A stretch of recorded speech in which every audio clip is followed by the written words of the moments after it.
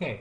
Oh, sorry about that. Um, okay, so I have received a lot of inquiries to make a video kind of explaining uh, how to do an opener and some general Windwalker Monk tips. Um, I haven't for a while because it got muted on Twitch and I've been really lazy.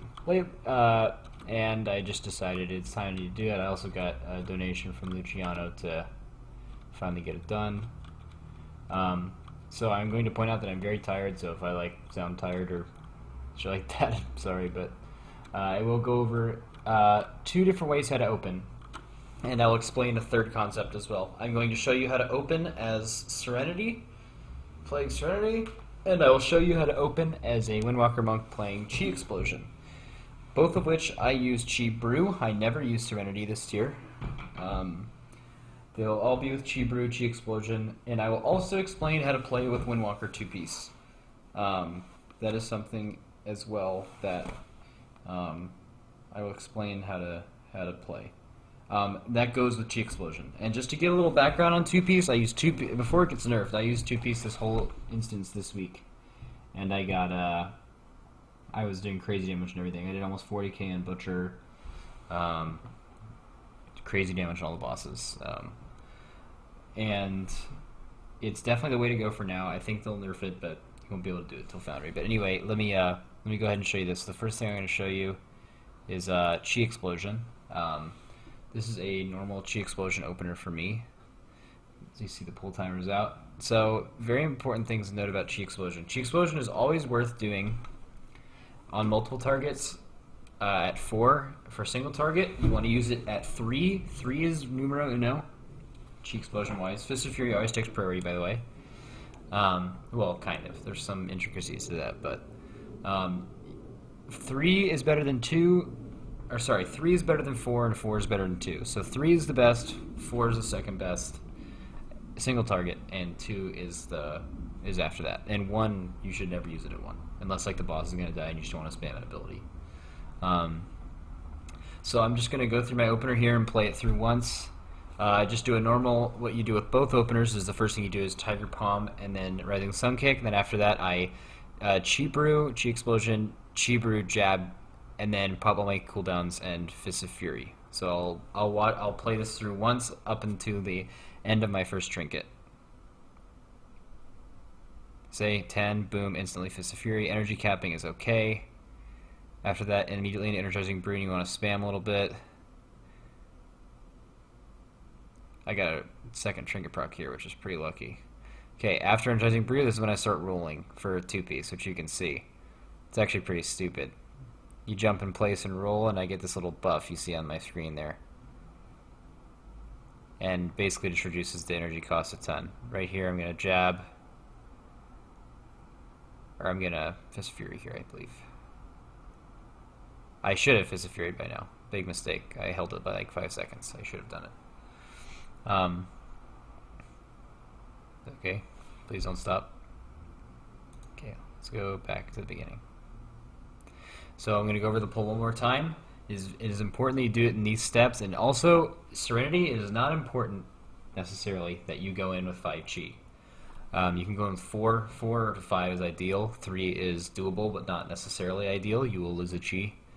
Um, However, with uh, Chi Explosion, you want to start the pull with 5, which is why we do 22 second countdowns, so I can always make sure that I can expel and start with 5. If you don't start with 5, basically all it means is your second Chi Explosion will be 3 instead of 4, which is slightly less damage. So, not enormous, but, you know, yeah. Okay, so Chi Wave Xuen on the way in. Roll in. Put your debuffs up Chi Brew, Chi Brew, pop everything, then CDs. And you guys can play that over and over again to see exactly the way I do it. If you guys need to pause this and see, um, watch it in slow-mo.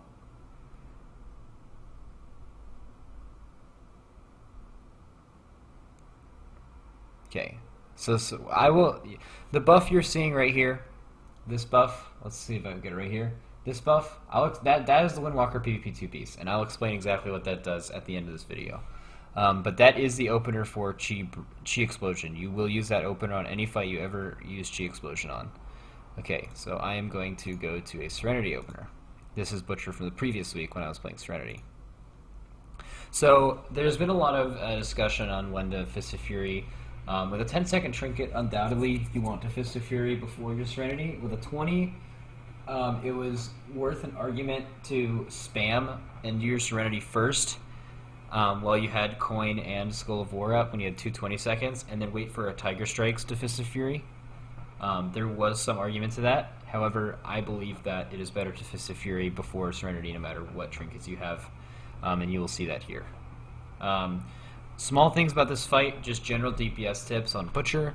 You want to uh, save your second coin, I believe. I think it's your second coin. You only get two uses of coin in this fight, unless you're actually like surviving 20 seconds into the berserk, which just isn't going to happen. So what you should do, sorry, what you should do is uh, you should save. You shouldn't save Serenity. You should use your third Serenity, and you should save it for like a Trinket Proc, Tiger Strike, Trinket Proc, something like that. Um, yes, that's how that's going to work. Um, so I'm going to go ahead and play this through. Show you all what's the deal.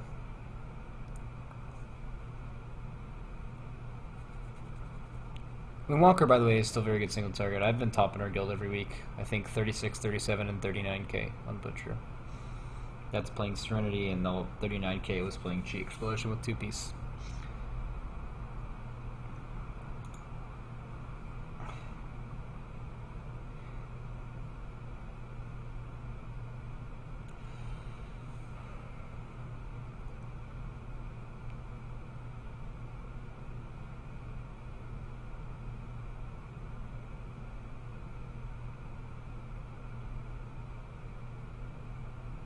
Okay, so before I start it, I'm going to point out exactly what I do at 2.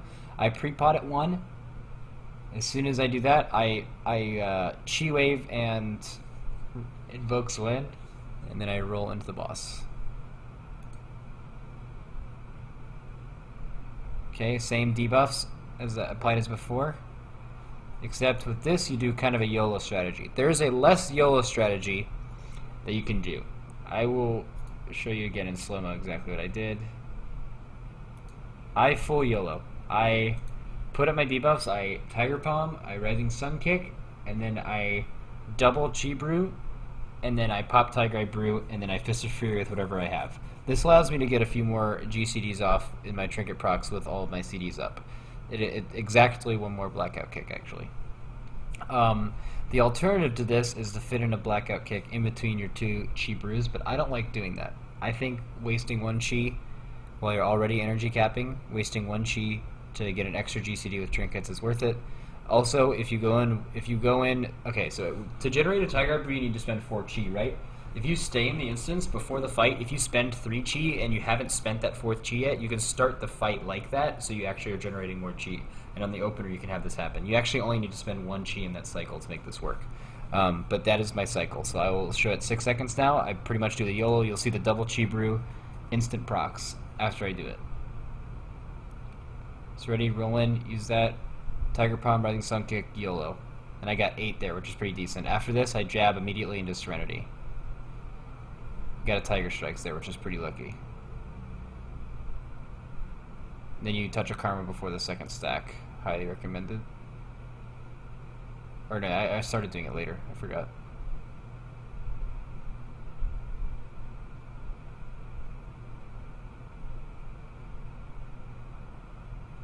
I was using it not for DPS and to actually help. Touch of Karma is very good on this fight. I think I use it here.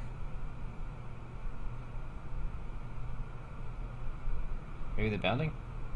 Okay, I don't know what I was doing this pull. I have eights. That's fine. Um, oh no, there it is. Okay. It absorbs the whole dot, by the way.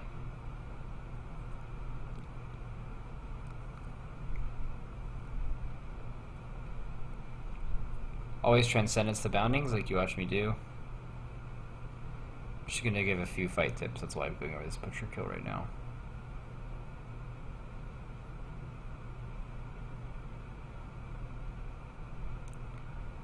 Okay, so what I have come up here is my second energizing. Now there's some choices to make with Tiger Eye Brew here.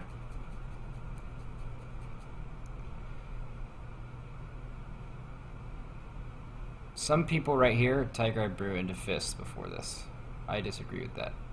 I hold my fists to before my serenity.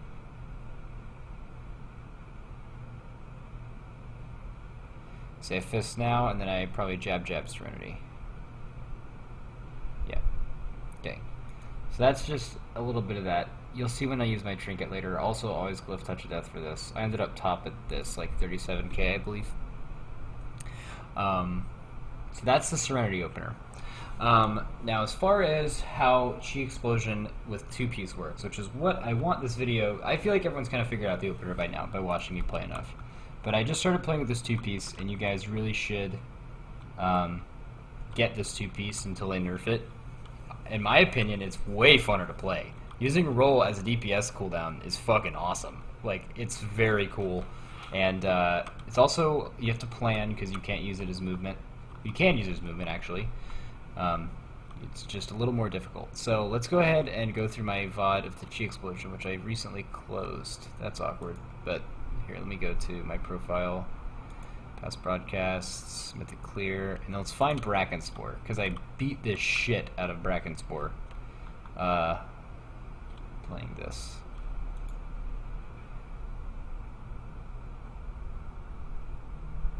Okay.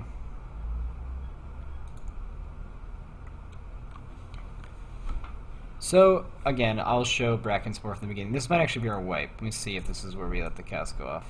No, this is 100% not the wipe. Okay.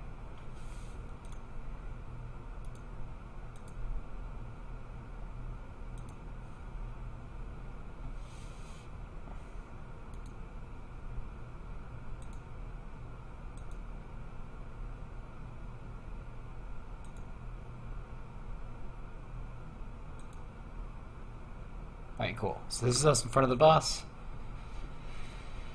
Okay, so I do my normal Chi explosion opener. I don't really get into a lot of the other stuff until the other guy gets out. Keep in mind, the stuff that I'm going to explain with two-piece uh, is all specifically for after. So you guys have seen my Chi Explosion opener. It was earlier. I just do a normal one here. Um, Something to note is that I do not abuse rolls, and I do not use the rolls until after my Energizing Brew is over. I always use Energizing Brew over my rolls, um, just to keep it on cooldown. Um, generally, Brackenspore is a very good fight for Windwalker, however, it's very awkward because when your trinkets come up and your Energizing Brew comes up, you can't optimally use it with the ad. However, two-set fixes this problem because it absolutely is retarded with the amount of... It basically devalues haste so much because um, it basically gives you jab for free, and the rolling in place trick that you see me doing by jumping helps a lot.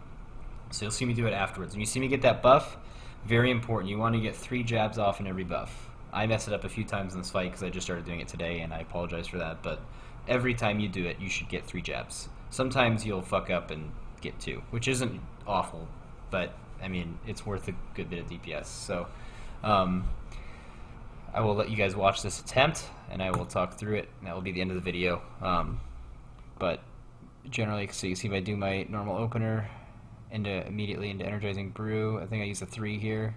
I use a four and then a three. Four jab three probably. Oh god, that opener was juicy. Holy lord. Okay. I get off that. I come over here. I believe I I touch a death that? Run back in. Zen med through that. I wanted to Zen. I wanted to karma the boss, but uh, I should I should uh, Fist of Fury here. Okay. Um, I wanted to karma the boss, but I didn't have glyph in for obvious reasons. I couldn't hit the boss. Okay. Clone Brackenspore and the Fusher. This is where the rolls hacks start.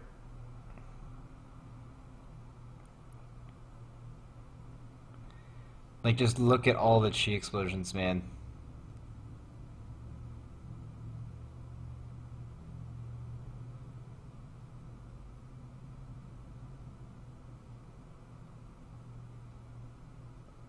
Look at the spam. Like, look how unbelievably broken that is.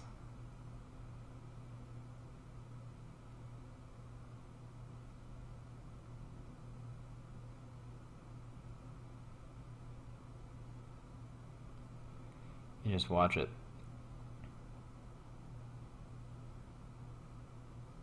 So yeah, um, you guys are seeing how I'm handling it. It's actually a lot harder to manage than normal Windwalker, honestly. So if you guys are having enough trouble just doing it, I wouldn't even bother with this. You're gonna probably be killing yourself more than it would be worth it. Um, but as far as doing damage, as you can see from the DPS meters, that this two set. Well, I mean, honestly, I mean, I'm usually 10k ahead, but I'm not 20k ahead. You know, like the the two set is just way too strong. Um, it will be nerfed before Foundry. If it isn't, I don't even know what to say. I mean, that's just horrible design that they would let that be in the game. Um, but yeah, that is the two set for now. That is how you play it. You can rewind and watch to see how it works out. If you have any questions, put it in the comments or come to my Twitch channel at twitch.tv slash maxisgoatlord and I will try to help you out. Alright, peace.